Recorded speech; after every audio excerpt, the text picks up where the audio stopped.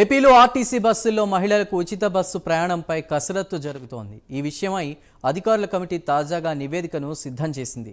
ప్రస్తుతం అందుబాటులో ఉన్న బస్సుల్లో మహిళలకు ఉచిత బస్సు సౌకర్యం కల్పిస్తే రద్దీ పెరుగుతుందని అదనంగా బస్సులు కొనుగోలు చేయాల్సి ఉంటుందని అధికారులు నివేదికలో పేర్కొన్నారు. అదే సమయంలో ఖాళీగా ఉన్న డ్రైవర్ పోస్టులను కూడా భర్తీ చేయాల్సి ఉంటుందని తెలిపారు.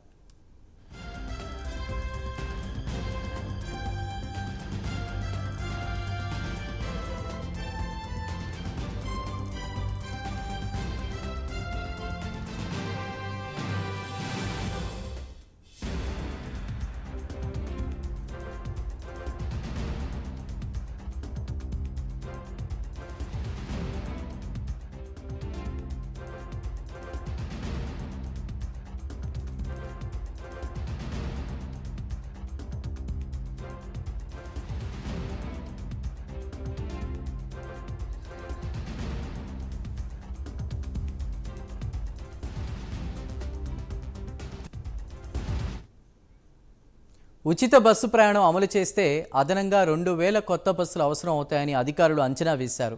ప్రస్తుతం ఆర్టీసీలో పదివేల బస్సులు మాత్రమే ఉన్నాయి. వాటిలో సొంత బస్సులు ఎనిమిది వేల రెండు వందల ఇరవై మిగిలినవి అద్దె బస్సులు. కొంతకాలం క్రిందట ఒక వెయ్యి నాలుగు వందల ఎనభై కొత్త బస్సులు కొనుగోలు చేశారు. అటు చాలా కాలంగా ఆర్టీసీలో ఉద్యోగ నియామకాలు లేకపోవడం అదే సమయంలో పదవి విరమణలు జరగడంతో ఆర్టీసీలో డ్రైవర్ల కొరత ఏర్పడింది. అందుకే కొత్తగా మూడు వేల ఐదు వందల మంది వరకు కూడా డ్రైవర్ పోస్టులు భర్తీ చేయాల్సి ఉంటుందని అధికారులు తమ నివేదికలో కూడా పేర్కొన్నారు.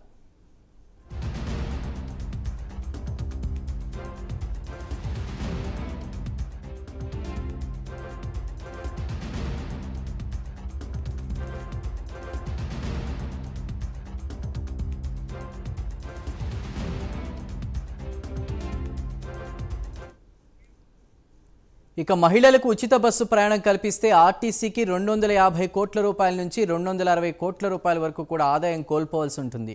ప్రస్తుతం ఆర్టీసీకి ప్రతి నెలా వచ్చేటువంటి ఆదాయంలో ఇరవై ఐదు శాతం వరకు అంటే నూట ఇరవై ఐదు కోట్ల రూపాయల వరకు కూడా ప్రభుత్వానికి వెళుతోంది. ఇకపై ఆ మొత్తంలో పాటు మిగిలినటువంటి నూట ఇరవై ఐదు కోట్ల రూపాయల నుంచి నూట ముప్పై ఐదు కోట్లను అదనంగా సర్కారే భరించాల్సి ఉంటుంది.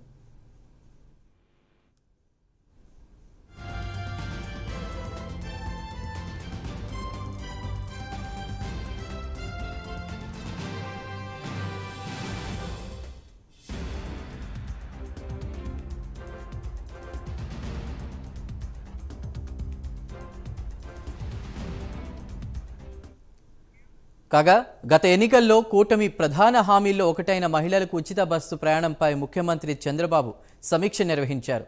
ఈ సమీక్షా సమావేశంలో ఆర్టీసీ అధికారులు కర్ణాటక తెలంగాణలో ఉచిత ప్రయాణంపై అధ్యయనం చేసి వివరాలు సేకరించారు. వీటి ఆధారంగా రాష్ట్రంలో మహిళలకు ఉచిత బస్సు ప్రయాణం అమలు చేస్తే కలిగేటువంటి లోటుపాట్లను సీఎం అధికారులతో చర్చించి దిశానిర్దేశం చేయనున్నారు.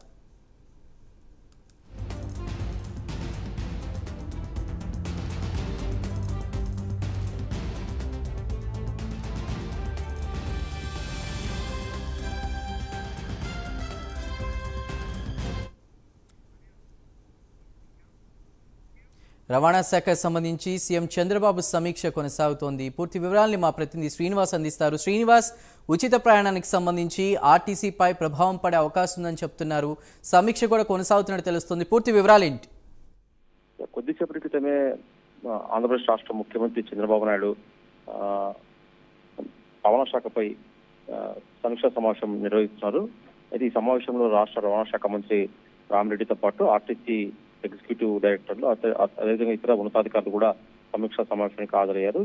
ప్రధానంగా ఈ సమా ఈ సమావేశంలో మటుకు ఏదైతే కూటమి ప్రభుత్వం గత ఎన్నికల్లో మహిళలకు ఆర్టీసీలో ఉచిత ప్రయాణం ఇస్తామని చెప్పేసి ఒక హామీ ఇచ్చిందో ఆ హామీ అమలు చేసే దిశగా కూడా ఇప్పటికే ప్రభుత్వం పూర్తి స్థాయిలో కసరత్తు చేసింది చెప్పుకోవచ్చు.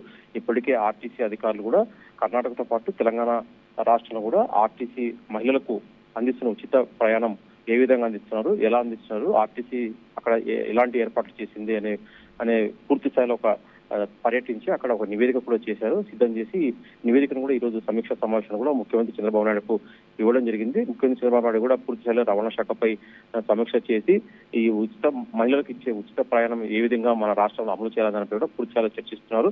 అయితే ప్రధానంగా చూసుకుంటే రా- రాష్ట్రంలో ఈ హామీని ఎలాగైనా అందించాలని చెప్పేసి కూడా ముఖ్యమంత్రి చంద్రబాబు ప్రతినిధిస్తూ ఉన్నారు.